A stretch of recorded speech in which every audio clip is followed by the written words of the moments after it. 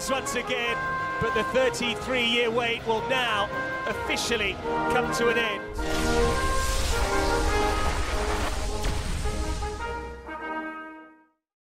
Ciao ragazzi, and welcome to another edition of Serie A Sit Down, World Football Index's podcast for your culture to go. I'm Frank Ravello. He's Richard Carmen. Ciao, Richard. Frank. How are you? I'm doing well, doing well. Just uh just celebrated my 49th birthday, which means I have officially I'm officially 2 days into my 50th trip around the sun. Um so uh, looking forward to what's going to be in store for me here uh, the next year. Except more uh, more soreness and uh, knee knee and joint pain and and, and things like that. things that come with just getting old. How are you? I'm good though. Right now, I feel like I'm a toddler because I feel like my seat's higher than your seat in the camera. So looks like I'm on a stool here. I'm like a little baby here, but uh, no, I'm I'm good. I am good. Uh, no complaints. A lot of uh, good action to end the Champions League uh, or Champions League, the uh, Serie A before the international break. Obviously, some other bigger news uh, happened this weekend, but um, I'm good. I can't complain. I'm healthy, so that's good. That's real good. Uh, yeah, we had some. Uh, we had we had a few interesting games in there. Um, you know, to go through that uh, we will uh, certainly go through. We're gonna we're gonna go match week 29 as an entire batch. Uh, we'll break down the results of the draw for uh, the Europa League. Unfortunately, no Serie A teams getting to the last eight of the UEFA Champions League this season. We were spoiled last year, getting three. Um, but uh, this season, uh, the C- is shut out. Oh, thank you, Vincent. That's very kind of you. Uh, and uh, also, Fiorentina's uh, Europa Conference League match will break that down. Uh, Francesco Acerbi wasn't behaving particularly well in the Inter Napoli game. We're going to talk about that a little bit, and it subsequently got him sent home uh, from the friendlies coming up here for the Azzurri. Speaking of the Azzurri, we'll we'll talk about the team that is going to play in the friendlies here. Is Venezuela the first game? I know Ecuador is the second game. So I believe so. Yes. Okay, so the they'll have those friendlies coming up, um, and then we will finish with the world's most popular hashtag game. Uh, who won Calcio Twitter? Uh, thank you, Reno. That's very kind of you. Um, uh, James, hey Richard, I, I, you really you really put in the time, Richard. I tell you this with uh, the production quality. I mean, you got the chat complimenting all of the work you put in. Good to see James. And I'm going to tell you guys, it's all Richard. I'm not afraid to say that. There you go. There you go. So. No, it's good. Uh, appreciate it, James. Appreciate it. Episode 300 coming up. Excited yep. for it. Can't wait. We'll see what we have in store. Uh, and uh, episode 300, in case you haven't, um, in case you have not uh, been told, it will start. We will be live on our YouTube channel at noon Eastern uh, on Sunday, uh, 11 a.m. Central Standard Time. And uh, you know, we who knows how long we're going to actually be on, but we're basically going to be getting you all the way to the to the Italy Ecuador game, or I don't know if we're going to be on that long. but what you're going to have what we're gonna have, we're going to treat you to there is just a litany of guests that we're going to have on. Let them give their say on how the season's going, anything else they might want to talk about. I think we just want to make it about uh, the guests that we've had in the past and those that have been very supportive of us um, and giving them some time, uh, giving them some time, and to show our gratitude to them. It's pretty similar to what we did with the 200. Yeah. Uh, so it's going to be, a, and, and it's it, it's going to be a lot of fun. We're lots of fun, lots of laughs. Yep, Just having fun.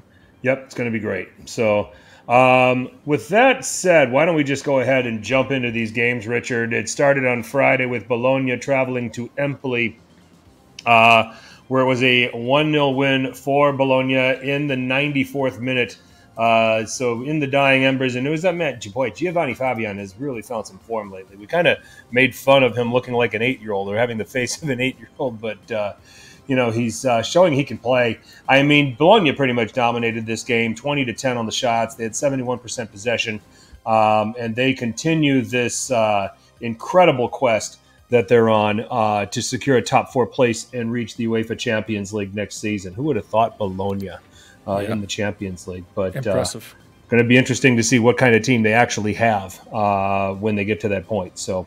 Um, moving on, uh, on Saturday we had Monza taking on Cagliari. Monza uh, surviving that one, a 1 0 win. Daniel Maldini with a uh, goal of the week candidate. Um, I see a bot has uh, joined us, Richard. Just ignore it, Frank. yeah.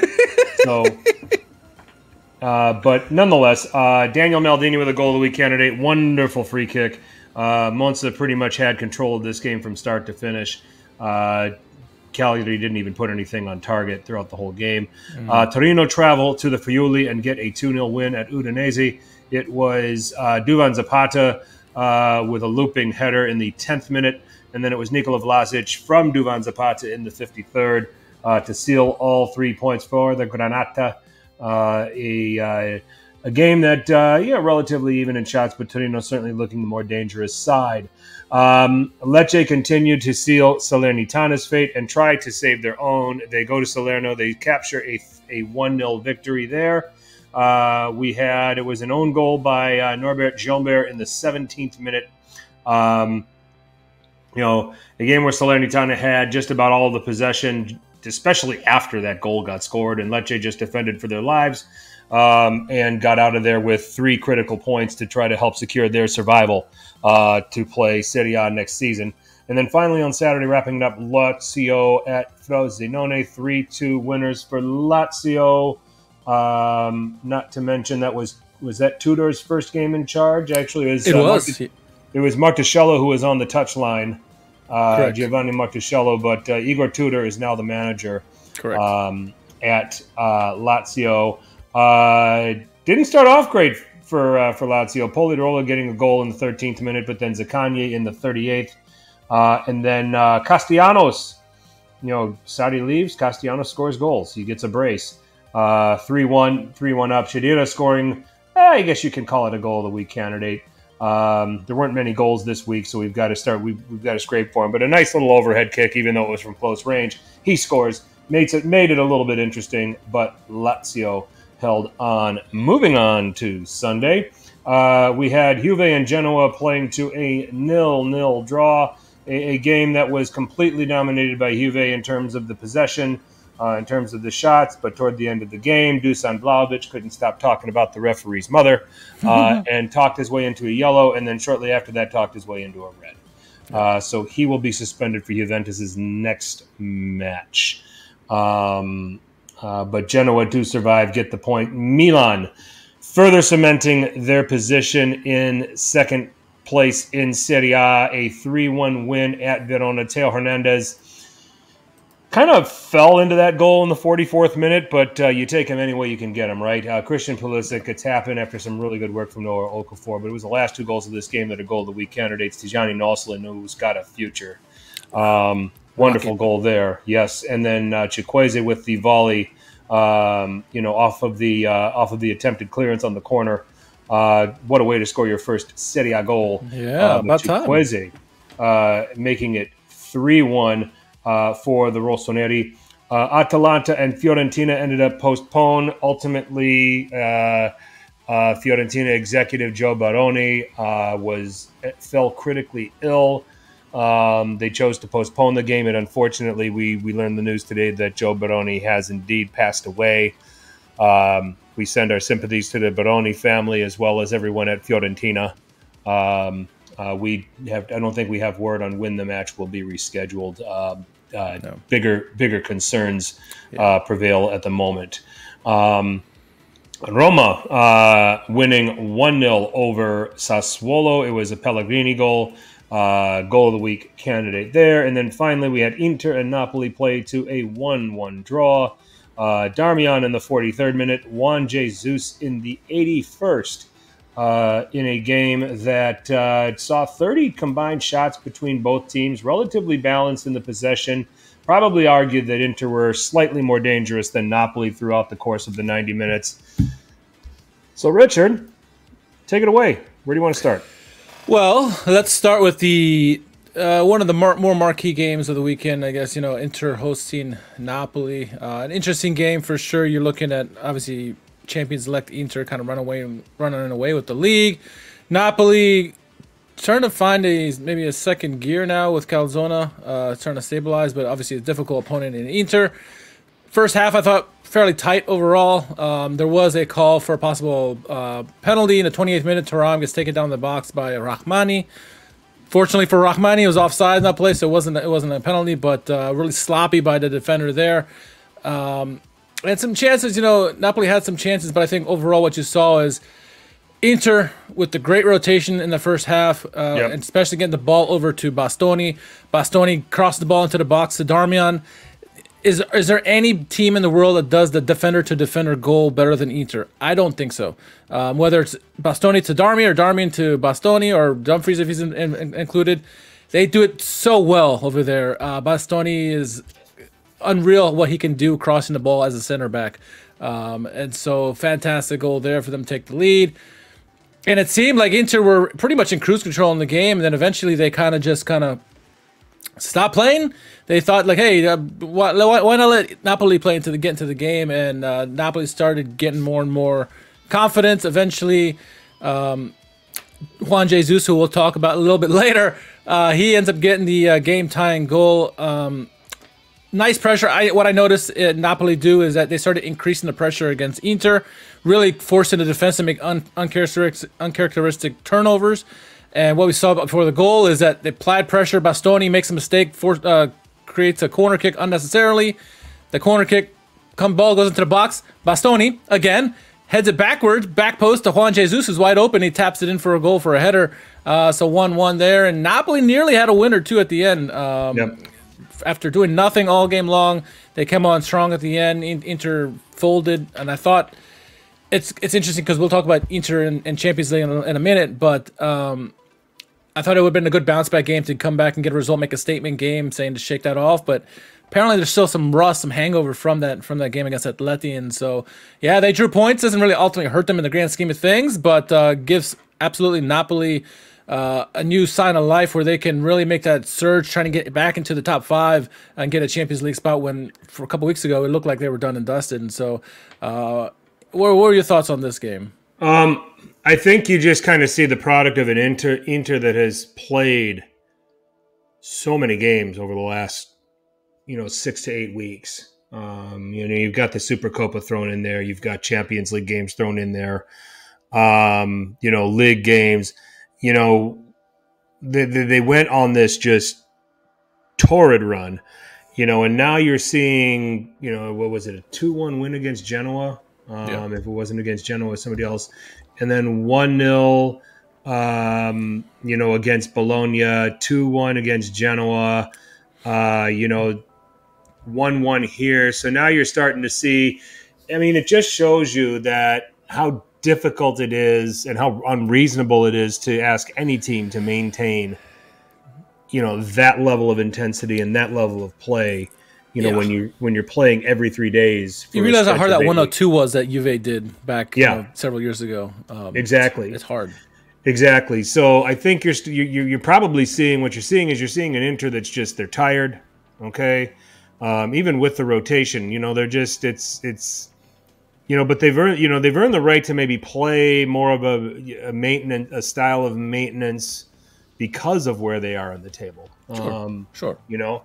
Uh, so it's just it's it's it's it's definitely challenging. So um, Inter finally concede after 76 minutes. As, yeah, and that's something that, and, and, and, I mean, and that's just a sure sign of it because what's something that Simone Inzaghi's always good at doing. He is good at making the substitutions that take the game away from you in those last 15 minutes of the game. He's not going to kill the game off and try to score an extra couple of goals. If they happen, they happen, and they've happened fairly often this season for Inter.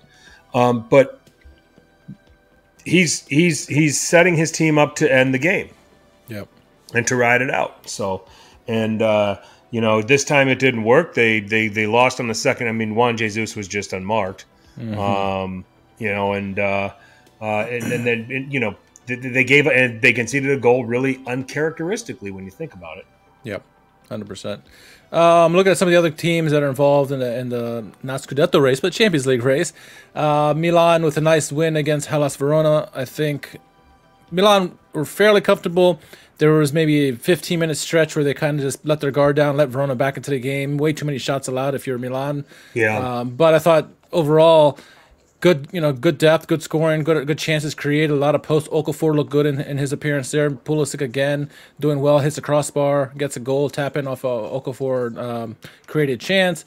Uh, Leao creating havoc, not necessarily scoring, and obviously uh, Theo Hernandez doing what he does. Um, wor- worth noting in this game that after Theo Hernandez scored, he does his trademark, you know, celebration.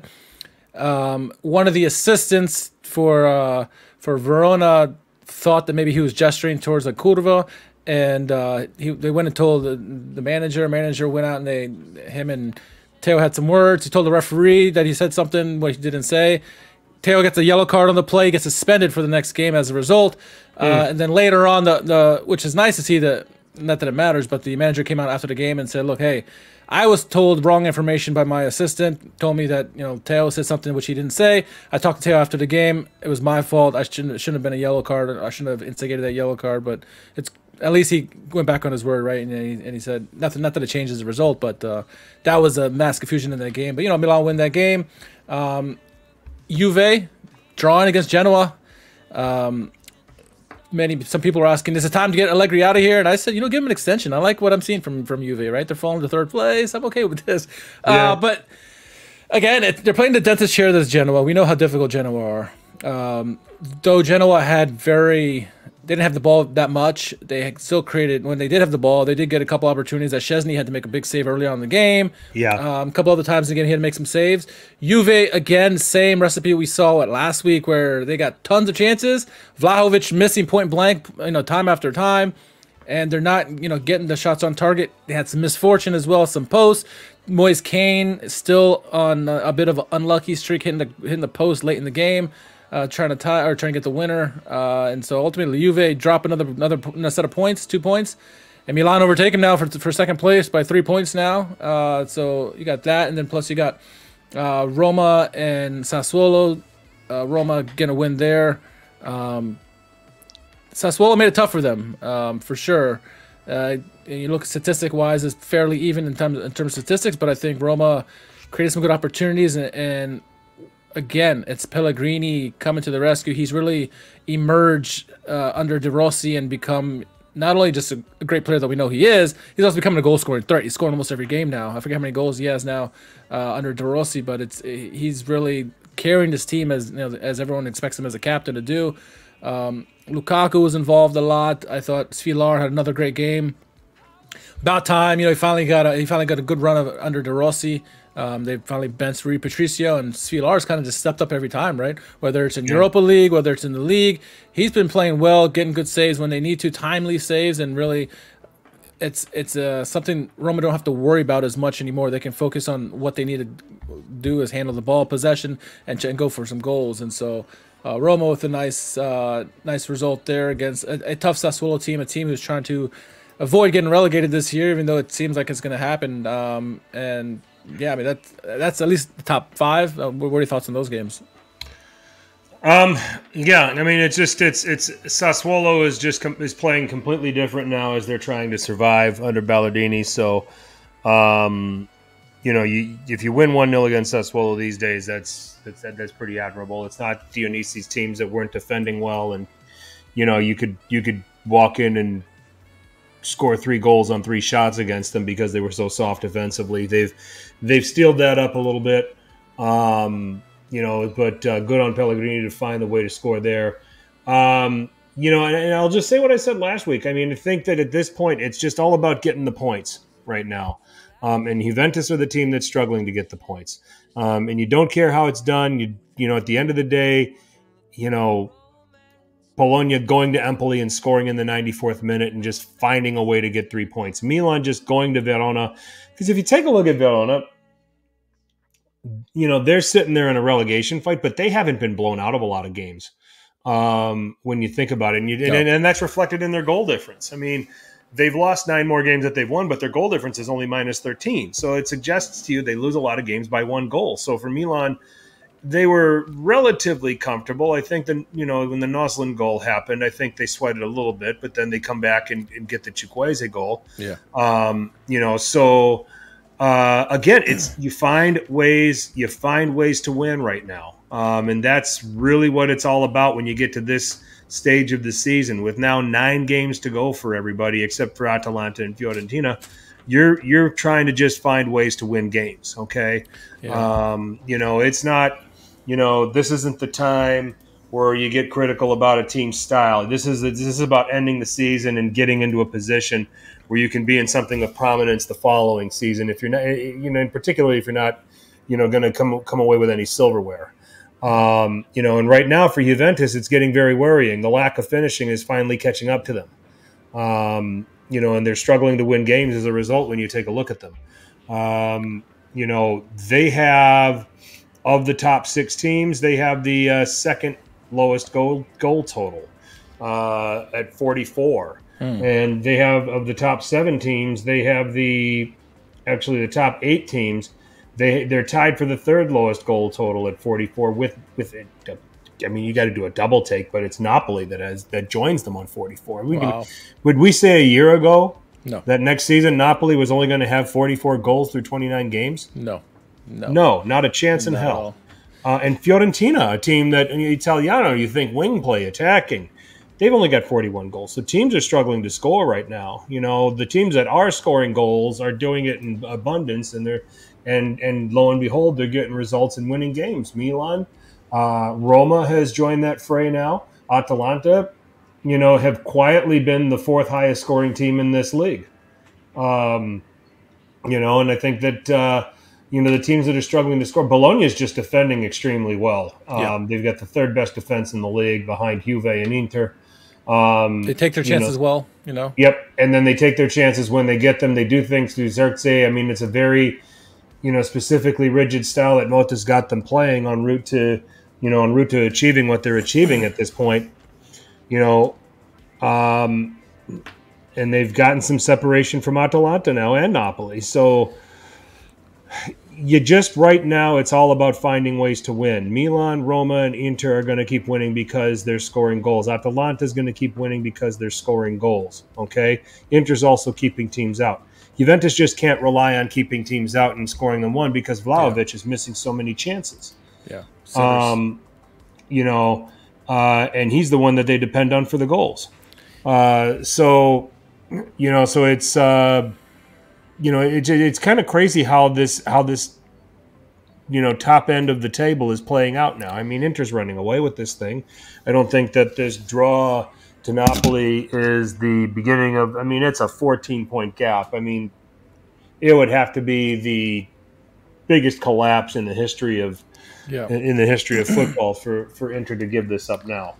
Um, there's no way it happens. Milan, I think, right now are very well positioned to consolidate second. I think that happens. And I like, uh, and I can't remember who said it over here uh, in the chat. Um, I don't rule out Juve falling out of top four. I don't think they fall out of top five, and I think they still ultimately get a Champions League place. I think Atalanta's too far back. Yeah. Um, yeah. But I can see Bologna and Roma overtaking Juventus. Um, mm. You know, uh, as this wears on, unless Juventus starts scoring goals, then all is right with the world if you're a Juve fan. That's kind of how it's looking right now. You know what seems to be the difference between Milan and Roma, right? Mil- uh, Rome, uh, Milan Roma, Milan and Juve. Um, Juve are struggling to score goals. Uh, they're struggling to keep people out of their their box. They're in their goal. But you know, Vlahovic, yeah, he's 15 goals this season, and yeah, some other guys are contributing goals. But as a team, they're kind of relying on Vlahovic to score the goals. Um, and it's while it's still nine games to go in the season or whatever, too early to grade Milan. But you look at the signings that they had this season, and I think Martino Pucci put out the, the tweet, but how many goals the new additions have scored this year? It's amazing. This is why they're in second yeah. place. It's not just because Leao and Theo are, are, are, carrying this team. It's it's all the new boys. You know, Pulisic, uh, Ruben Loftus-Cheek, Chukwueze gets his first goal.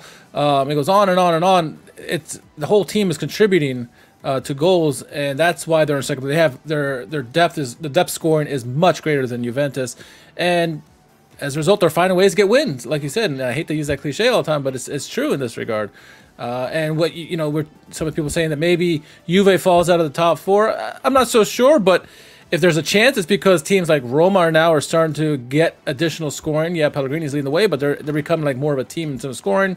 If Napoli can find their way, you know, who knows? And um, it'll be interesting going down the stretch. Obviously, Bologna they're the they're the odd maker out here. They're probably similar to more Juve because they play you know defense and and they take their chances well. But again, they they're starting to get um, contributions from Fabbian, Saelemaekers, um, you know Ferguson coming from the midfield. They're, it's it's they got some depth there that's scoring goals, timely goals for them. Yep. They're not always getting a lot of goals, but it's timely with with with Thiago Motta's system. And so, yeah, this could be interesting for Juve if they don't figure it out quickly. They have they're getting the scoring chances They're yeah. just not putting it in the back of the net. And shout out to Steve, I see you there. So, um, I saw comment by Dominic asking me how asking how Calzona's substitutions were in the Inter game. They were yeah. okay.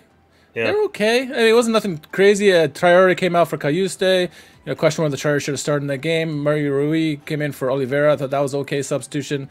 Simeone for Raspadori um, and a couple other stuff. So it was, it was okay. I thought the last couple substitutions were a little late for Ngonge and Lindstrom. Try to bring them on at you know after ninety minute mark. Like yeah, you bring the, you bring those two on earlier if you want to try to win a game or get a get a result. But uh, yeah, it was okay by Calzona. I mean, the other thing that is interesting, I think that uh, I think I heard somewhere, and I think it was actually the commentator in the Milan Verona game after the Chukwueze goal. Uh, Milan leads Serie A in substitute goals. Mm, that's you know I would have thought so, of Inter. Well, so I, I, mean, it's just another thing to just kind of point to the Pioli out crowd about it. It's a, well, apparently Pioli seems to know the right time to bring guys on, and you know, and then they come through and they score goals. Jovic has been fantastic as a super sub. And Okafor's had his moments. Yep. Um, you know, Chukwueze getting a goal here. Um, you know, players have players have come through. You know, and then you and then in the starting lineup, you know, Pulisic's having a having an outstanding season. Loftus Cheek has contributed some goals. Mm-hmm. Um, you know, you know, people could say, well, you know, Leao's goals and assists are down. He's not, is he not what he used to be? Yeah, he's still he's still the same guy. The problem is, is the team has more balance uh, to the to the point that Dominic says. Team shade you know? Leao, and then so other people like Pulisic and Ruben Loftus Cheek an opportunity to score goals, and they do. And and 95 year old Olivier Giroud, who might be going to MLS, he's got 12 goals, eight assists this year. You know, that's uh, a MVP type numbers for him. You know, he's, he's been fantastic. It's his best year with Milan, and out of the three he's been there so far. So exactly. I mean, so what did we say last year? I mean, it was uh, the, the glaringly obvious games where Milan got exposed. Was it's kind of early in the 22-23 season um, against Chelsea in the Champions League, especially the game at Stamford Bridge. Mm. You know, the way that Chelsea set up defensively, they just outnumbered the Leao and Theo side and said, We dare you to attack us on the other side. We're just going to leave that, you know. Give us Saelemaekers, give us yeah. Junior Messias. yeah, it was obvious. And it was obvious, you yeah. know, and now, yeah. you know, if you try to do that, you've got Pulisic on the other side. You've got, you know, you've got you've got Loftus Cheek in the middle. You've got playmakers. You've got you know Bennacer and Adli and Reijnders who can who can work and change the point of attack through the middle where the advantage is, and we talk about this a lot. Um, so I think um, you know. I think in the end, and you're going to look back at this, and a lot of the criticism of, of Pioli, people are going to. It's just I, you know, I keep harping on this, but it's not warranted at all. Especially with 62 points, it's right around what Milan have been doing every year, points wise, under Pioli. So even yep. and I think this was just one short of the uh, uh, title winning number uh, two years ago. I think they were at 63 at this time uh, two seasons ago. So, um, so yeah, I mean, um, that says a lot. It says a lot about how the team is managed. It says a lot about their ability to go through and, and, and win games. And maybe they didn't win some of the big games that really mattered. Okay. Uh, maybe they didn't, you know, they, they needed one goal against Newcastle in that first leg, and they would still be in the Champions League. They would have made the round of 16. Um, you know, they got they got it handed to them in the derby, and certainly that is something that is a concern that's going to need to rectify itself. And how they do in the Europa League is also going to matter now at this point. Um, because by all accounts, 15 points clear of Atalanta, if you're talking about five Champions League places, their Champions League place is secure for next year um, you know, unless they have a complete collapse. And then the injuries, yeah, the injuries did so much damage. Could you? I mean, I'm just going to ask, yeah, and that's to your point, Dominic. I mean, would how close would Milan be to Inter right now if everybody stayed fit? I mean, we're we're we're we're we're starting to get into the hypothetical a little bit here. I would say Inter would have at least the lead might be cut in half at at seven. Okay, I, I think that's fair because I think Inter are that good this year. I think uh, that's and fair. Milan and had a growing still... period, so you know, but who knows? You never know. Yeah, I mean, that's just it. So, um, you know, I think that uh, you know with Lazio, with uh, and you know, with Lazio, it's just too little, too late. I mean, you can have Monza in that conversation a little bit now as they're starting to work. Monza have won four of their last five. Um, yeah. You know, do you think Lazio to... can make a, Europe, a European push late in the, late in the year? I'm not. I'm not talking about Champions League. I'm not talking about Europa League. I'm talking about Conference League. But you know, it's Europe. Um, it's tough. It's going to be tough. You know, right now because I think it would be two Europa places and one conference place. They're four behind Atalanta at the moment. Yeah. Um, I, man, I don't see it. Um, I, I, you know, I, I don't, I don't see it. Um, you know, Napoli are looking a little more respectable, respectable under Calzona. Atalanta have been okay here. You know, I, I, I, I can't, uh, I can't sign off on that one. Um, I think it's going to be a challenge for them. Yeah. So yeah. Um, to your point, Monza, you know, getting getting a lot of wins here lately, uh, and really the relegation fight is becoming a you know what has it has been a thing, and it's going to be entertaining down the stretch. Cagliari, I thought had they created chances, they couldn't get a damn shot on target. Lapadula, for the life of him, couldn't hit the damn couldn't hit the net if you gave him an empty net. Um, they just yeah they they had their chances in terms of the creation but nothing on target. Not, and you're not gonna you're not gonna have a chance to even get a, a, result in the game if you can't get it on target. Monza, to their credit, obviously Daniel Maldini with a goal of the week candidate there, sensational free kick. Uh, Monza did enough. You know they did enough in that game, I think, and uh, you know Torino, good result for them. Maybe they can have a late late season push into the European spot. Who knows? Um, Salernitana to I think Dominic's point earlier saying like, hey, stop it, it's dead, it's dead. You know, you you feel for them. It's what what what is the thing Patrick Kendrick tweeted out the other uh, earlier today. He said uh, Salernitana are now on their sixth coaching change in 105 games back in Serie A. So they had wow. three in 21, 22, 2. You had Castori, uh, Colantuono, and Nicola in 2022-23. You had Paulo Sousa come in after Nicola, and then this year you had Pippo Inzaghi come in after Sousa, Fabio Liverani who just who just got fired after this game against um, uh, against Lecce, and then now they have uh, Colantuono back again for um, yep. for them. So yeah, it's not looking good. Your life if you're a uh, Salernitana supporter and uh, probably signing a contract to just go down with them and maybe help rebuild them to to bring them back up. Yeah, it's going to be interesting because like Sassuolo, they're they're currently if you look at the table right now, uh, pull it up here, um, scroll down to the bottom. Twenty pages open here. Um, Frosinone are currently in the bottom. It's it's it's them and Empoli. I mean. Uh, Frosinone has dropped. Frosinone has dropped so quickly. They were. I mean, it feels like two months ago they were mid-table. Well, we now, predicted this though. We've yeah, been saying this for yeah. weeks. Everybody, anybody who would listen said Frosinone is going right down into the bottom three. This is the EDF we were expecting, right? Yeah. uh, but I think you know I, I, agree with somebody in the chat said. I think Vincent said like uh, Hellas has enough talent to get out. They should be going down, but they have enough talent to get out. And Cagliari probably has enough between them, Empoli, and Frosinone to to get out. Uh, you think Frosinone has some talent, but they're just they can't stop anybody. Yeah. And, um. So I would say, if I'm picking a team right now, I, I still say Sassuolo gets out because I think they'll figure this out with Ballardini and they're going to start stringing together some yeah. wins. The talent is there. I think it's Empoli that will. Frosinone is in 18th, and I think that they're in the relegation the rest from from here on out. I don't mm. think they fight their way out. Um, I think Sassuolo gets out, and I think they get out at the expense of Empoli because Empoli just yeah. simply cannot score. Yeah. Um, if you can get one on them, the game's over um, already because they just have struggled so much for goals all season. Um, so, you know, I think that that's why Dionisi got fired because Empoli scored three on Sassuolo, and you know, the Sassuolo brass just finally had enough. Said, "Man, you just gave up three to a team who doesn't know how to score. the first three goals of the season. right. Practically. I mean, those are three those those are that was that was like like what, almost 15% of Empoli's goals for the whole season just in that one game. Yeah. Um, yeah. 3 out of the 22 that they've scored. I mean, 22 and 29 games is miserable. Yeah. Um, so just not a lot to you know if you're an Empoli supporter, there hasn't been a lot to be happy about, and I don't think you're going to be any happier. They're going to be going down.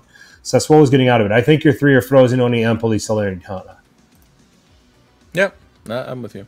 I'm with you on that. So, goals of the week. Goals of the week. All right, first I want to give an honorable mention to Caprile for Empoli. Man stood on his head, eight saves in that game. Yeah. Uh, did everything he could to keep Bologna out. They eventually got a goal, uh, but he, he was fantastic, I thought, in that game, uh, notwithstanding. Uh, number five for me, Vojvoda, uh, his great assist on Zapata's goal. Mm. I mean, beautiful from distance, curler yeah. from the right side, okay. wonderful there. Uh, number four, I'm going with Vincent's boy Pellegrini. Nice. Uh, he basically took the the, ball himself. So I'm, I'm going to go ahead and score for us because nobody else can score. Lukaku can't score. Uh, but nice goal for him outside the box. Number three, I'm going to go with Chukwueze, first goal. Uh, nice volley for out of midair there to get his first goal of the season. Uh, only reason it wasn't number one for me because I thought a couple other goals outdid it. Maldini's free kick, number two for me. Great goal by him. Uh, who thought he could he could do free kicks like that?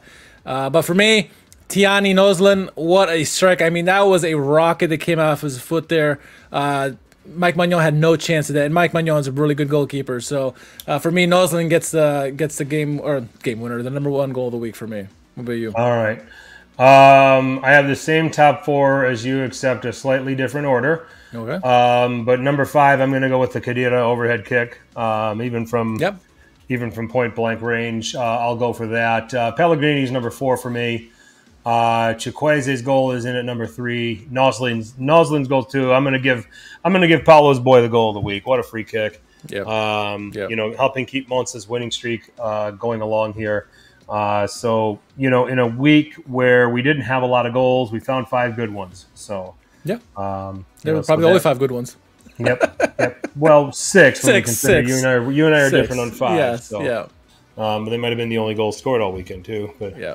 Uh, but anyway, so that was um, those were our goals of the week. So let's go into Europe. Let's uh, uh, postpartum on uh, Inter to start with. It was just I don't I don't fault Inzaghi for the game plan that he had. Um, I fault the players for not finishing because there were enough chances to there were enough chances to see this off um, in the 90 minutes. Thuram had a great chance. Um, trying to fit, I'm trying to remember who who's the one that put it over the bar. That that that should have been the one that did it. Um, but probably not title. might have been. Um, but Inter leave this thing just completely kicking themselves because not only, you know, did they have this this did, did they have this tie? They they should not only should they have won this tie um, they had the chances to win it in the second leg. They had the chances to get the result at the Wanda that would have got them into the last eight. But then you take a look at that draw and you take a look where Atletico Madrid got to. They're going to play Borussia Dortmund, and then the winner of that's playing the winner of PSG and Barcelona. Inter would not have been phased by that bracket. Yeah. Um, you know, and and and could have been could have very conceivably uh, seen Inter reach the final um, you know, of the Champions League had they been able to, you know, another one of those where it's just, it's just, it's astonishing how fine the margins are in a competition like the UEFA Champions League. We were talking about Milan earlier, just needing one goal at home against Newcastle to qualify. And now we're talking about Inter, you know, pick any of those chances they had, especially in the second half, and they're going through. Instead, they're going home. Yeah, it's uh, it's a shame because it's one of the better teams in Europe going out so early. Um, yeah. I I, t- I tend to think that Inter bottled this. I think they were the favorites. Obviously, Atleti are are good. They are hard to beat at home.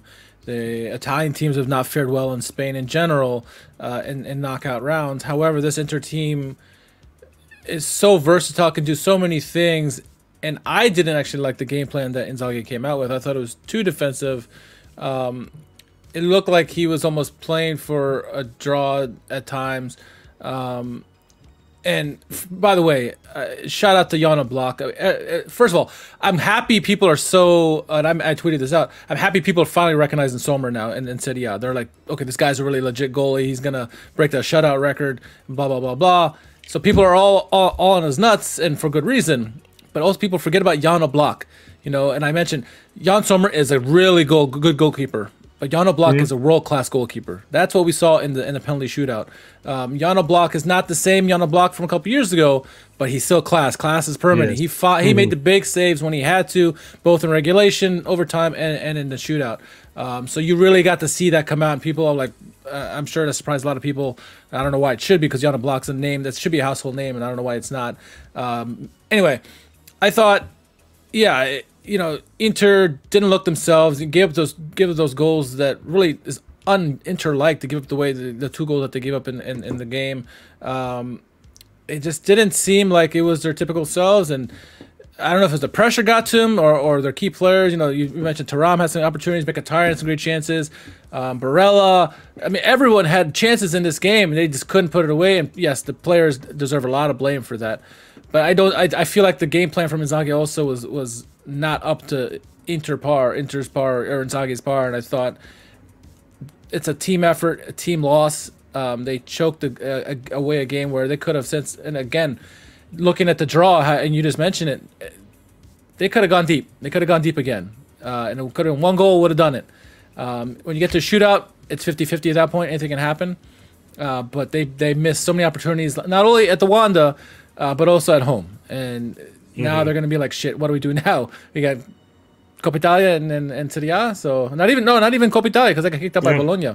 So you just have Serie A. Now they're like, okay, what do we do now? So maybe that now even shows you. I doubt that 102 is gonna happen now because they're gonna be like, well, season's over. We already won a Scudetto. Like, what do we care about getting to 102 now? It's not gonna happen. So um, it's it's 103. It's, they can do. what They got if they win out, they'll be at 103. Yeah, yeah. Yeah, but they got to win. They got to play nine and win nine. Yeah, that's their. You know, then they'll be at 103. They'll and, be. And I agree with Vincent. The subs were also questionable the game, and just the whole game plan by Inter from top to bottom. You know, players and everything. It just it seemed like they overthought it. But I'll play devil's it. advocate to your take. I mean, please, please, yeah. Inter. This is the way Inter want to ultimately be. They want to let you have the ball. They want to be able to let you in, in, invite, invite and absorb. They're good at, and you, and you, you know, you alluded to it earlier in the podcast who's better in the world at just winning the ball and just going end to end before you know it? They've you, yeah. you've you've been beaten, you've conceded a goal. It's kind of what happened on the Dimarco goal. Um, you know, so it almost was Inter could play Inter could play the football they were comfortable playing. And when and, you know shouldn't have been phased by the crowd or any of that other stuff. They just didn't and, and I think they were. Yeah you know, comfortable yeah. with with the way the game was going to be playing out. They just didn't too comfortable. Yeah, they just didn't finish the chances. I mean, very uncharacteristic of the players too. Like a couple of the players, a couple of shots went way over the bar uh, yeah. in the game, and because they're leaning back too much, they're they're they like they're too comfortable in the game. They they it just it's unfortunate because this is such a good team and now it seemed like people were starting to recognize Inter outside of Europe, and now they're like, "Nah, we were right the whole time. We didn't. They, they suck. They, Serie A is a farmers league, and I, I, hate that shit." Yeah, and we talked a little bit about Napoli last week. I mean, against yeah. Barcelona, they were overmatched. Um, yeah. You know, for, for what they had to go up against. So yeah, uh, it's a yeah. shame. We had we got we had three make the quarterfinals. We had one get all the way to the final. Uh, we had an all Italian semi. We had a Derby della Madonnina semi semifinal last year. Yeah you know, hopefully we can get back to those things in the following following season. But uh, we'll have to, uh, you know, look at what could have been, especially in the case of Inter. Uh, you know, as we as we let the we let that last eight unfold. Who do you think um, of the last eight? Just for just for fun. I mean, nobody's in Serie A, so it doesn't matter. Um, might not matter to us, but um, who you got winning it all? All right, so you got Arsenal, Bayern, it's hard to say, right? Uh, that game. You think winner of that plays it. winner of that plays winner of Real Madrid, Man City. That's just loaded. I, I think Real Madrid, Man City, one of those two teams are winning the whole thing. Um, I agree. I could see Real Madrid bouncing back after last year. Well, no, you know they don't have Benzema anymore. Um, yeah, that's such a tough, tough draw. Whew. I say Man City win it all again. You think they go back? Yeah, they, they're getting De Bruyne. De Bruyne is getting more matches. He's getting his legs under him. Um, you know, they're kind of getting it back together. I could certainly see it happening.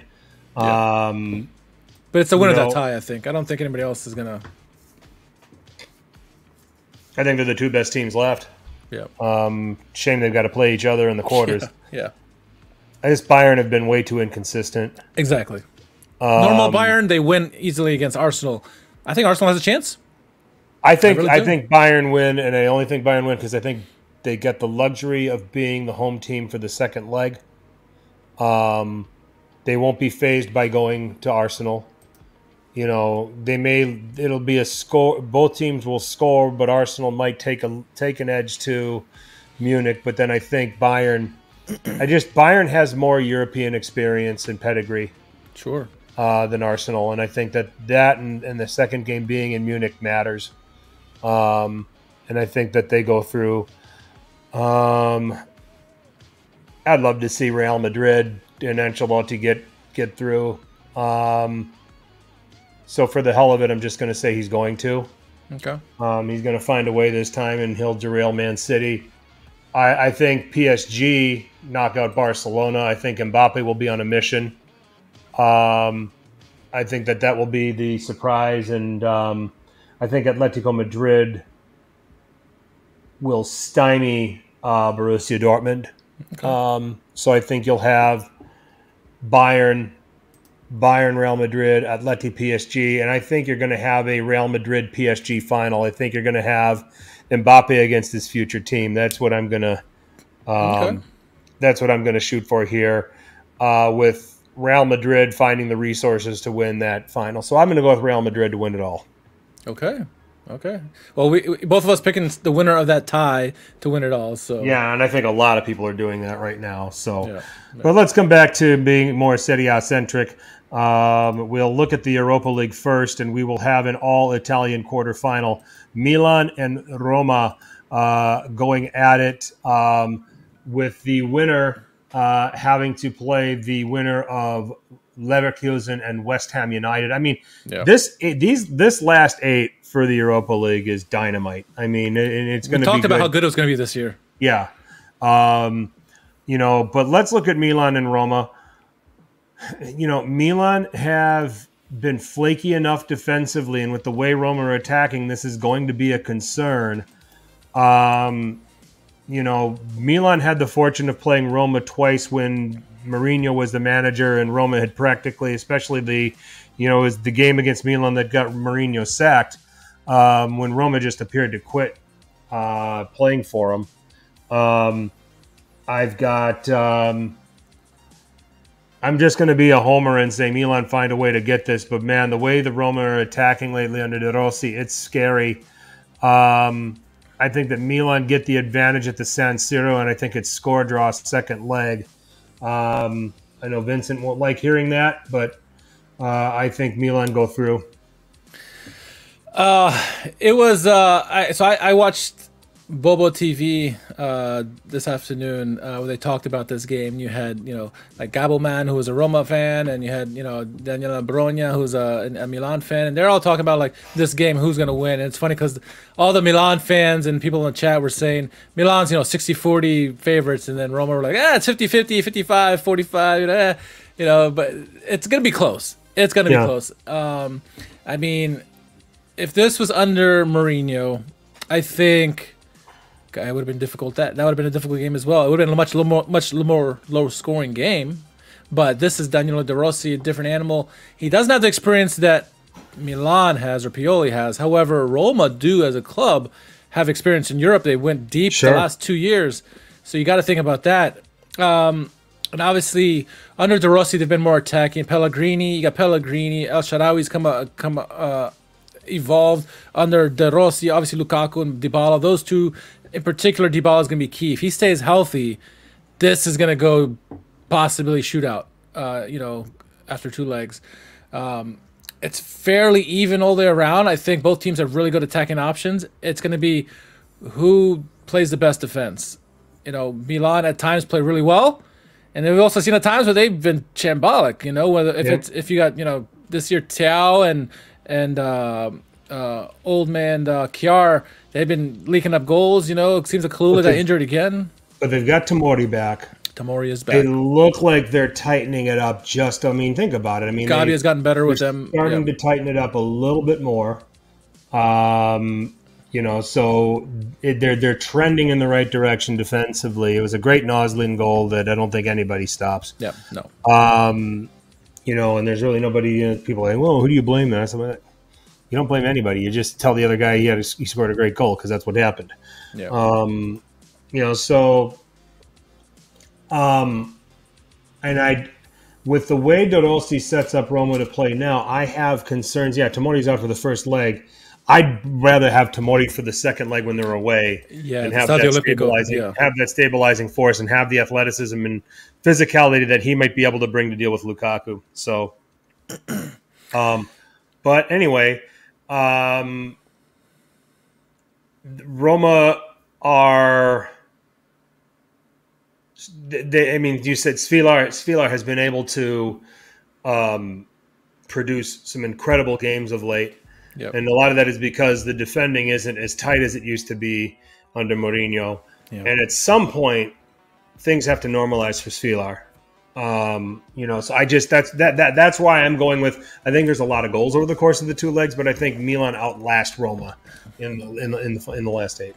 I think that's a good answer too. I think we're gonna see two fantastic tifos, right? First in, in Milan with uh, uh, with their tifo, and then obviously Roma with you know the whole song and everything. Roma, Roma, Roma. It's gonna be magical both locations. I think it's they they cancel each other out in, in so many different facets of the game. Yeah. Even goaltender. I mean, Maignan is the better keeper. However, Svilar is playing the better of the two at the moment. Um, I think the game, the series, the, the two leg is won in the midfield, and I think Milan have the edge in, in that regard, just slightly. I think the attacks are fairly comparable. Defenses are, you know, both at times can be good, can be times can be bad. Yeah. Uh, but I think the midfield has better depth for Milan, and so I think, yeah, I think I like your word. Milan survived this this battle. It's gonna be a lot of goals. Uh. You probably see something like a shoot two one, and maybe three two or something in the second in the, in the, second leg or something crazy. Who knows? But it's going to be a lot of goals, um, and I think it's it's whoever survives. And and it's so unpredictable because we haven't seen enough of De Rossi in in Europe to see know what they're about. We know what Roma's about. Can they can that translate with De Rossi? And we'll see. Uh, mm. It'll be a a huge trophy on his mantle if he beats Milan uh, in over two legs. I'll, I'll yep. say that. It's gonna be it's gonna be fascinating. Uh, the other team in the, t- the, other team remaining from City on the Europa League, Atalanta. Oof, they go to Liverpool uh, yeah. and have to play Liverpool. Uh, Liverpool, who just uh, came off of eliminating Sparta Prague eleven to two on aggregate. Um, John, nice to have you with us. Yeah. Um, if Atalanta somehow survived this, they would see the winner of Benfica and Marseille in the semifinals. Wow. Um, two Crazy. teams that have European pedigree and have gotten better over the course of the season. I mean, it's just it's brutal for Atalanta. It's already hard enough with the Liverpool team that this Liverpool team's on a mission. They're yeah. they're, they're going to try to win everything they possibly year. can for Klopp's last year, and they and they're playing accordingly. Um, I mean, they they they not only can spread you out up top, but they have so much pace up top. Nunez in the middle. You can play Gakpo. You can play Salah. I don't know where Diaz is in this picture. You know, you've got some very steady midfielders. Um, Szoboszlai obviously has been a big, big, big player for them. You've got, you know, you've got Trent there on the right hand side. You've got Virgil, who's a very good defender, but Liverpool fans, please stop with this shit, comparing him to some of you know to Maldini and Nesta. And he's good, he's good, but he is not sitting at this table with these these other these other defenders who have you know who are just absolute legends. So I, I, I, I hate to say this for Atalanta because the form that they've been in recently concerns me too. Um, they survived Sporting Lisbon, who I thought was going to knock out Atalanta. I just don't. I don't see how Gasperini pulls this off. I don't. You know, and if they can stay within two goals of Liverpool on aggregate over the 180 minutes, I think that in itself would be an achievement. I, I think this will be the end of the road for Atalanta. Yeah, it is. Uh, it's difficult. The one saving grace, and it might not be, is that Liverpool are a home first leg. Um, mm because that on a European night is one of the most difficult places to play. There, there's, there's maybe a handful of places you could say are like on a European night they're difficult. Liverpool is one of them. It's it's up there, if not you know one of the best. Um, it's curious to see what Gasperini does and how he comes out. I think in order for Gasperini to be successful in the first leg on the road, you, you know we've seen we we as Milanisti we have we, we've experienced that in European nights uh, recently. How daunting, how much pressure they put on. The fans are on top of you. Liverpool come out and attack you, uh, try to get an early lead. Um, they have to play. Gasperini has to play their defense. They, you know, they need to be very attacking or very defensive. They have to go to the defensive mode and soak up that pressure, get that crowd out of the game. If they can even get an early goal, that'd be that would be my deal. But you got to soak up the pressure. You know it's going to be immense pressure for the first 30 to 45 minutes because um, they're going to be all ramped up from uh, before the game. Play that defensive system. Don't give them anything. Try to counter counterattack all their their strengths and their speed because, like you mentioned, they got a lot of pace over there. And hit them. You know, take their opportunities. You know, Koopmeiners is going to have to be huge in this game. Um, whomever starts, whether it's Lookman or CDK or Scamacca, who it doesn't matter who whoever it is is on the on the pitch they're gonna have to take their chances well. They can't be like Inter and miss all these quality opportunities, or Napoli miss these opportunities to get a goal because you can walk out of Liverpool with a, a score draw or just uh, just a draw in general. Anything's possible in that second leg. When you take it home, you can open it up a little bit more and, and have a chance to see what you know. Maybe to some people's point in the chat that maybe Liverpool will be concentrated on the league. You know, if things work out for Atalanta, they you know maybe Liverpool play Arsenal that that, that same week. You know, whatever. Who knows? We'll see. But that first leg is gonna be crucial for Atalanta. If they have any chance in this tie, it's that first leg had to come They've out with a draw. draw. They, They- got to get a draw. Yeah, a win would be fantastic, but a draw. It's not happening. the one thing that I think they have working for them that could be interesting is with their setup. If it, it's two strikers, if it's say if it's Lookman and De Ketelaere, and you've got Koopmeiners in that role behind them, how does Liverpool defend that? You know, with Yeah. the way they're set up.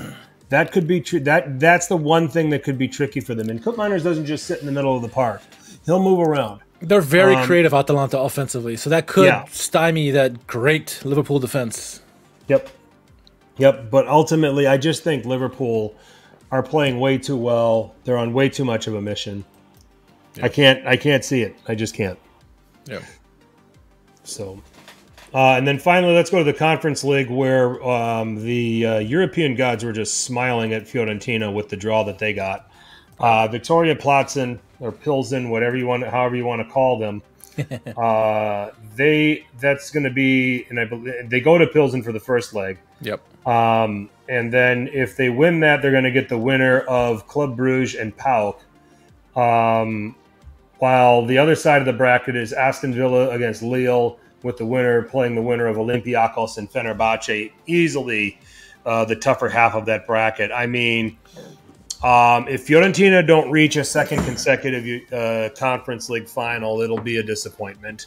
Um, you know, Bruges are they've taken steps back because they've had so many players get sold. Um, but they're still going to be a problem, and that's who Fiorentina is going to see in the semis. Pilsen, I don't see, I don't see them being a challenge. Um, but I'm I'm going for um, I'm going for Fiorentina to be back in the final of this uh, conference league. So um, that's uh, and if Fiorentina does advance, Italy Italy will mathematically secure the fifth spot for the Champions League. So we are pulling for you, Fiorentina. Don't fuck this up. Give us that fifth spot. Give us that fifth spot. Give us that fifth spot. It's all on you. What do you think? I mean, I I, I got no other way to put it. This is this is a this is an this is as idiot proof as it could get for Fiorentina. And I don't want to be disrespectful to the other three teams, but Fiorentina are better than all three of these teams that are on their side of the bracket. Yeah, and I think if anybody knows how to overcome tragedy and and, and build a team around it, or or bring a team together because of it, uh, it's Fiorentina, right? Obviously, yeah. Davide Astori a few years ago when that happened, they went they went on a great tear after that um, unfortunate incident again with Joe Barone passing away. Yeah, it's a favorable bracket, but they got to still take care of business, and hopefully they, they feel it's a, a they're on a mission to kind of, you know, to bring him some joy from you know in heaven and uh, and and get them back into the finals, and if not, you know, win it this year. But I, I'm with you. If they don't get to the finals this year, um, it's going to be a disappointment, I think, because it's laid out in front of them. The teams are beatable, not necessarily easy, but they're beatable. Yeah. Uh, and you know they're going to be at home in the second leg, so yeah, let's let's hope that they can uh, get some good results, especially early in the first legs, and knock it out of the way, and then and cruise the rest of the way. So we'll we'll see. I'm hoping for we're all pulling for them, I think, except Yeah, for Juve maybe. Let's see what happens with that. But I think there's not there's there's not much more that needs to be said. Um, but I think they reached the final. Um, I think they'll play Aston Villa in the final. I think they'll see another Premier League team because I think I think Aston Villa has been taking this seriously, and I think yeah, I agree. I mean, Aston Villa, Unai Emery in a final. I think that's going to be very hard for Fiorentina to overcome. We'll just have to see if they uh, they get there and if that's the opponent. So, um, but it'll be interesting, that's for sure. So, um, so that's that's our roundup on Europe. We move on now to Francesco Acerbi, who um, got in a little trouble in this Inter Napoli game, uh, ma- making some racist comments in the direction of Juan Jesus. Um, Yep. they don't bear repeating. Um, Yeah. but no. we just need to tell you that it was said. Um, it's our understanding that at some point in the game, Juan Jesus, your Juan Jesus was asked by reporters after the game. He said, "Yeah, Cherby came to me and apologized." Um, but now Acerbi, you said, took to social media and said, "No, I never apologized," etc., etc. So it has ultimately led to Francesco Acerbi. You can take the man out of Lazio. Here we go. Leave it to Vincent. Yep. so no, so what happened was yeah yeah. Go ahead. uh, Can't finish it for me. You, Yeah, so you yeah, during the game, Cherby and and uh, Cherby said something to Juan Jesus. Uh, I I think it was after the game, or maybe it was at halftime. Juan Jesus went up to the referee, told the referee what happened. Apparently, Cherby went walked up and apologized for saying what he said. And then after the game, Cherby was one uh, uh, interviewed by the reporter, and he said, "Oh, I didn't say anything. That's false. I, I absolutely said nothing like that." Uh, and then that's why Juan Jesus went to Instagram and said, "No, no, no. This is what happened." You know, called him out um, in front of everybody, and as a result, uh, uh, Acerbi's not going to go with the Azzurri. He's been called back, um, and it's it's interesting because uh, uh, you see, I was watching I was watching the game. I saw Acerbi was getting getting fired up because Raspadori was all over him. They were going back and forth as well. You're heat it's the heat of the moment. I don't know what's said, but I, I can't imagine Juan Jesus lying about something like that. I mean, No. that that would be a horrible accusation. Um, and if the referee heard that Cherby apologized, referee should you know get some get some you know maybe a ban as well because why didn't you stop the game? Why don't you handle it? Or why don't you give a red card out or whatever? Uh, so curious what the referee says about all this after after the fact. But if it's if it's true what Cherby said, um, then he needs to. You know, I think they were saying maybe he gets like a ten game suspension. He, that's a minimum. I, I think he needs a much longer suspension if that's the case. Um, obviously done for this year, but shit, don't he shouldn't be able to be playing for uh, shit. I would say twenty games or something at least. It's it, ten is not enough uh, if what he said is true, uh, and it's a, it's a shame. You know, um, he was he has been doing so well for Inter and and all that stuff, but that means nothing. I mean, if you're if you're if you're if you're racist, you're making comments like that. There's no point. There's no room for you in the game. You need to go. Um, and This so- is the FIGC we're talking about, though. that is the part that scares me. Um, and so I, I, like I said, I can't imagine Juan Jesus makes this stuff up, and by all accounts, it, it's true. But let, let's, I guess, see how the process goes. But again, you mentioned FIGC; they can't be trusted. They, they, they, they, they just fuck everything up. And so, I, I imagine nothing's really going to happen, nothing substantial enough, because they've never done anything in the past to fix anything. So, uh, but it's unfortunate because now I think people are gonna even Interista are gonna look at um, Acerbi a different way now, and you've seen all these comments about Lazio's Vincent, man, but I'm not gonna re- repeat. Um, yeah, it's it's unfortunate that it went down like it did, and it's it's it's it's very disappointing. And I'm I'm using nice words. I'm trying not to blow up about it like I have in the past, but um, yeah, it's it's disgusting. My comments that I had about the Mike Maignan incident early in the season, it, it, you could put the same comments here, um, but it's yeah, it's unfortunate. Yep. Ah, so with Acerbi out, let's uh, talk about who's in uh, for the Azzurri, making a uh, brief tour here to the United States. Uh, take it away with the selections there, sir. Would help if I unmute myself first. Uh, Yeah. yeah. let me pull up the uh, the called team. Uh, right there we go. There it's on the screen now. Okay. All right. So uh, started first in goalkeepers. Uh, you had Carnesecchi, Donnarumma, Meret, and Vicario. Obviously, Carnesecchi starting. Just kidding. Uh, he might. I, I just really, I you know, I I, I wish Di Gregorio. I mean, they're they're, they're friendlies. Yeah. I, I, I wish Di Gregorio got to make this trip. I agree. I would have taken him over Meret. I agree. Uh, defenders, well, it's no longer Cherby. It's now Gianluca Mancini. Yep. Uh, like for like. uh, he comes in instead. Bastoni, Bellanova, Buongiorno, Cambiaso, good for him. Uh, Darmian, Di Lorenzo, Dimarco, Scalvini, and Udogie. Midfielders, you have Barella, Bonaventura, Folorunsho, good for him. I'm uh, happy for Frattesi, yeah, Jorginho, Locatelli, and Pellegrini. And then the forwards, you got Chiesa, Lucca, good for him as well. Orsolini, Raspadori, Retegui, Zaccagni, and Zaniolo. Thoughts on the uh, Azzurri 11? Or I like I like that we're seeing different people. I don't think we have enough different. I mean, like I said, Di Gregorio over Meret, I think I would have been fine with. Um, you know, I look at this a little bit more. Buon, Buongiorno deserves the uh, deserves the trip. Uh, you know, Scalvini, let's give him another chance. Let's see how it looks. Um, it is a shortage. It is a shortage of center backs here. Uh, you've got Bastoni. Yeah, maybe there isn't. Um, Darmian, do you do you deputize him as a center back in one of these games? We'll see. I mean, it's an interesting. Di Lorenzo is going to start on the right. You're going to have uh, Dimarco on the left, um, and then maybe Buongiorno and Bastoni, or uh, some combination of that. Mancini and Bastoni um, could be another option. Um, you know, I, I, I think this is the these are the games where you can give Scalvini some more meaningful minutes and see yeah. if it's any better than what happened against England in the qualifier. Moving to the midfield, happy for Folorunsho. Hopefully, he gets a Yeah. he gets an honest run out to see what he can be, see what see what he's made of. Um, I think Bonaventura has been very good for Fiorentina this season, so Yeah. he certainly deserves the opportunity. I don't know why we keep picking Jorginho. I know that he's in very good form for Arsenal. Um, you know, but when he gets to Italy, he seems like he gets overrun a lot. Um, kind of walking on eggshells with that take, but um, you know, but look, you know, I guess Locatelli. If he, if if if if, if Spalletti plays a four-three-three, then I guess Locatelli may sit in front of that back four. Um, you know, we'll see how that all plays out. And then the forwards. Lucca, are you are you guys? So is it, are we planning wing play with lots of crosses then? Because I think that would be the ideal way to use Lucca. Yeah. Um, you know, Chiesa. I just, I mean, we, somebody made a comment about how Chiesa is just kind of getting run into the ground right now over at Juventus. I just don't feel like that this was a thing to take Chiesa to.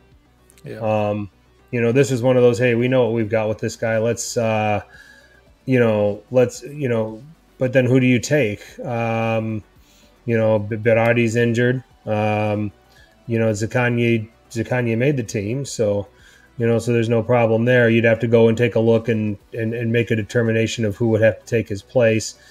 Um, you know, be interesting to see what Orsolini does. He's he's been he's been okay for for Bologna. Raspadori, interesting one. Hasn't played much for Napoli this season, but uh, you know, again, another opportunity to give him a run out. Yeah, El Shaarawy, I think that's an excellent one. In fact, good Yeah. call, Vincent. I think I'd have taken El Shaarawy over Chiesa. I agree with you. Um, these are friendlies. You know, these are the these are two games where you give yourself an opportunity to take a look at some of the fringe players Yes. Yes. you know, ahead of the European Championships. um, you know, I think some of the you know the, some of these guys didn't really need to do this trip with with how many games they've been playing. So, um, I'm sounding overly critical of Spalletti, but they are friend they are friendlies, and you know, there's at least there's enough of an experimenting with certain players to you know to be able to uh, uh, you know to be able to see what they offer in a run out. Yeah, I, I hope he experiments with like the fringe players, like you said, because like you know, I would love to see a anyone but Donnarumma in goal just to see what they what they can do. Um, in defense, you're assuming to go with the four three three. Udogie on the on the left hand side instead of Dimarco. Give Dimarco a rest. Um, Cambiaso on the right. Maybe Buongiorno and Bellanova in the middle or something like that to see what they got. Maybe Scalvini as well. You know, he could get some minutes for him. Um, rest some of the other guys. You look at the midfield. uh, Bonaventura, I'd like to see what he can do, see more of him. Uh, we already seen him with the, with the Azzurri, but certainly Frattesi, Folorunsho, want to see what they can do, and, and you know maybe Locatelli and, and Pellegrini getting some um, some minutes there. I, I, imagine a lot of rotation in these games because it's our friendlies, and then with the forwards, yeah, if you're gonna if you're gonna have Lucca play, you're gonna have some good wing play. I think Chiesa doesn't shouldn't play at all during these two games. I think put Zaccagni out there, give him an opportunity to uh, get back in good favor with with um, Spalletti and and try to make a claim for that left wing spot or at least a, a good substitution spot. Um, and then you know Orsolini, I want to see Orsolini play. I definitely want to see Raspadori play at some point, um, and see Retegui and, and Lucca. But um, yeah, mostly most I want to see a lot of guys that yeah. don't that don't play much. I want to see the guys who are the vets that we know are going to be probably in the starting eleven. Let them sit. Let them sit. Don't let them get injured before the Euros let them relax and as best they can. Just go there, experience, talk up the young guys, and and yeah, I want to see some new guys play. Yep, yep. Please don't make me watch Zaniolo. Yeah, he's been. it's interesting. So, uh, so we'll see. Uh, be nice, you know. Enjoy those games, guys. Uh, you know, uh, I believe the Venezuela game is it Wednesday or is it Thursday? Oh, um, with the Ecuador game on on Sunday on the twenty fourth. So you know the the uh, that is the uh, the side the Italy Ecuador game is a sideshow to the Serie A Sit Down 300th uh, podcast. Yeah, that's right. Going on earlier that day. So that's right. Um, but we move on now and we finish with the world's most popular hashtag game. It is now time for Who Won Calcio Twitter. Take it away, Richard. It would help if I learned how to do this thing. You know, how long have we been doing this? I still can't figure out how to do this stuff. All right, let me get it out here. All right, so starting things off, we're gonna go with uh, local pasta maker. So let me let me go back a step. So this person, AFC Dulo Dulo or whatever, an Arsenal fan, he comes up and says uh, a ridiculous tweet saying, "David Raya or Gigi Buffon both in the prime. Who are you taking?" and this guy got slaughtered as a result, as he should be. So mm-hmm. someone responded back, and that's uh, the local pasta maker says, uh, "Simone Zaza, Thierry Henry, both in their prime. Who are you taking?" There's some other good ones, but uh, which I'm sure they'll be on here. But uh, that's funny. Excellent. Uh, big show. Uh, a little self-deprecation for the team he supports. Uh, Lautaro tonight in the Milan shirt as captain. the guy in the background laughing. Oh, all right. Moving on. Uh, after Inter lost, Napoli supporters were like, Inter fans, join us. That's Dom there with the tweet. Welcome to the rail. Uh, at the music Wally, uh, Fartaro bringing back this gem. oh, let's see if it's working. I don't even know if I have TikTok. Let's see what happens here.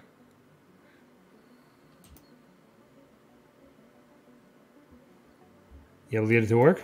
it's not getting, it's not working for me. So I'll have to take his word for it. it, it oh, I think I think I'm just watching a video and saying "Don't cry, Lautaro," and they're showing the, the camera was pounding him after he missed a penalty kick Sky over, uh, and so the guy was just talking about Lautaro crying. I guess it's funny. Oh, okay. I remember watching it was funny, but it's not working at the moment. So sorry, Wally. Appreciate it though. All right. Uh, Sansone says, Dad, how good was this 2023 24 Inter when there was nothing on the line? And the old Vince McMahon is like, beautiful. It's crying. It's so good. oh, Vince McMahon. Oh, that guy. All right, moving on. Uh, Lautaro channeling his inner Zaza minus the run up. This was from at Adriano Calcio. Shot Adriano into the upper deck. Nardo. Uh, shout out to the Calcio guys. All right, this one comes from Michael Jokin. Uh, and so he says, reputation, representation in the Champions League quarterfinals, Spain 3, Germany 2, England 2, Qatar 1. PSG, of course. Yep. Uh, all right. Uh, okay, so uh, Napoli Sansoni back at it again. Lautaro the second. There is something on the line. We've got pictures of Martial, uh, Anthony Martial, Anthony Martial, Moise Kean, Moise Kean, um, João Jorge, uh, Cow George. Cow George, man, I got the backwards. Um, and Judo Immobile. Immobile. is this Vincent? Who is this? oh wow. man, uh, that's, that's harsh. Clubhouse, I think. All right, so this comes from Zombo and says, "Look what he did."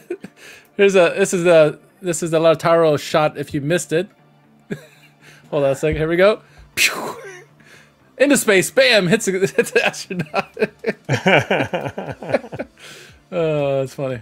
Oh my goodness. Okay, now moving on. Uh, we nominated Michael Lisi, and uh, uh, it is our Michael has nominated Grego underscore eighteen ninety nine. Uh, call Mike Maignan. Call the ambulance, but not for me. This was in reference to uh, Maignan getting hurt in the second leg in Prague. Yeah, um, and yeah. then still managed to finish the game. Yeah, yeah. Well, he didn't uh, finish the game. Sportiello, Sportiello did come on in, for him. Yep. Yeah, yeah. But he came back the very next game. All right. Uh, this one comes. Uh, so this is from uh, Joe Cello, friend of the show from. Uh, uh, oh my god, I forgot, I forgot his podcast name. Gonna kill me now. But anyway, um, he says, "Here's my nomination. It's Juventus wishing a happy birthday to Paul Pogba, who's suspended for four years for doping. Congratulations, Juventus." Thanks for that, Juve. No shame. No shame, Juve. No shame. Okay, uh, I am going to give it to Napoli Sansoni. The, the one with the uh, Moise Kean and all those guys. Yeah. This one. Yeah, that was that was pretty good. He is. Uh, he is. He has done it again. So it's been a while since Napoli Sansoni has. Low limit uh, football. Gosh, I, I, apologize, Joe. Low limit football. I've been on the show many times and I forgot the damn name. I forgot the name of our podcast all the time, so it's all right. uh, anything you want to say to the people while I write this up? again, every time I, I, I, come onto the show, I'm like, I got I got shout outs to make, and then we get in the show, I'm like, what was I gonna say? uh, international break. No, I'm just gonna you know talk about episode 300. Very similar, like you said, to episode 200. We're gonna have fun. There's no culture really to talk about, no games to talk about, no uh, real games. We got the we got the Azzurri games that we can talk about, uh, but we're just gonna have fun. Yeah, Re, you know, catch back up with all our old friends and see what they're up to and their teams, and uh, yeah, have a good time. Talk for uh, many hours. Uh, I I imagine because last time was three hours, like you said, and so you know, hey, middle of the day, that's good. We're gonna get maybe yes. some European friends involved and uh, and and some North American friends as well. Maybe maybe some other surprises. We'll see. Most definitely, I think we're going to enjoy ourselves here. So. Um, uh, I will uh, first of all acknowledge the chat. Everybody was excellent. Thank you all for uh, for coming in and, uh, yeah. and, spending some time with us. Some of your comments, some of your takes. I'm sure you're able to, you know, help blend into the show. It's always always helpful from you guys. So thank you uh, very very much. Um, and I think with that, we're going to put a bow on 299 and let the anticipation and fun begin for 300 mm-hmm. um, which we will remind you Sunday, March 24th, on the on the Serie A Sit Down YouTube channel at noon Eastern Time. Uh, join us. Uh, join us to celebrate uh, reaching podcast number 300. Uh, we are working through uh, a laundry list of guests that uh, we will have that we are going to probably give uh, 10, 15 minute spots here and there, um, you know, to come and join us uh, and spend some time with us. Dominic, thank you very much. Um, yep, I'm, uh, let's see, 363 days away from turning 50. Uh, so um, counting them down, baby, counting them down. Here we go. Um, so uh, it, it's just we're going to have a good time. Going to have some things we can laugh at a little bit. It's you know to Richard's point, it's going to be a great experience. If it's anything like what we did on 200, you're going to enjoy it. So uh, be sure to uh, to join us. It'll be a nice little uh, nice little appetizer for you before you uh, take in that Italy Ecuador friendly uh, later on in the day. So mm-hmm. with that said, or actually 300th episode, Serie A sit down is the main course, and then Italy Ecuador is dessert. I think that's, that's the way right. we got to frame that's it. Right. Here we go. That's right. So, with that said, we're going to put a bow on this edition of Serie A Sit Down, where we have our own channel on Apple Podcasts and SoundCloud. We're on Stitcher, Spotify, iHeartRadio, wherever this podcast is. Serie A Sit Down. At Serie A Sit Down on Twitter or Instagram. Go there with your thoughts. You can find us on Facebook as well.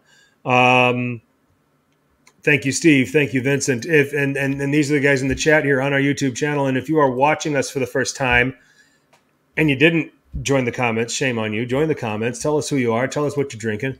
Um, but if you are watching for the first time, you enjoyed what you saw, hit that subscribe button. Um, hit the like. Um, thank you, Anthony. Um, and then most importantly, hit that notification bell because that will give you the heads up when we are back on the air. So, uh, Twitter handles, Richard, where can they catch you? R underscore K H A R M A N. I'm at FTC underscore 21. My tweets are protected though, so uh, you do need to. Uh, I you need just make the request, and uh, I will if I will let you in. Uh, unless you are a bot, then I will not let you in. Uh, so, um, I think that's it. I think we've covered it. it all. So that's it. I repeat, episode 300 this Sunday at noon Eastern time. Yes, join us. Join us. We're going to have a blast. So join um, us. The countdown begins five days away. So we will see you then. Uh, enjoy the Italy games. Enjoy the, some of the games on the international break. Some uh, some compelling uh, um, European Championship playoffs as well that you can watch in between those Italy games too. So. Um, it might be an international break, but the football doesn't stop. Uh, so for Richard, I'm Frank. And as always, make sure you tell your paisans about us. Ciao.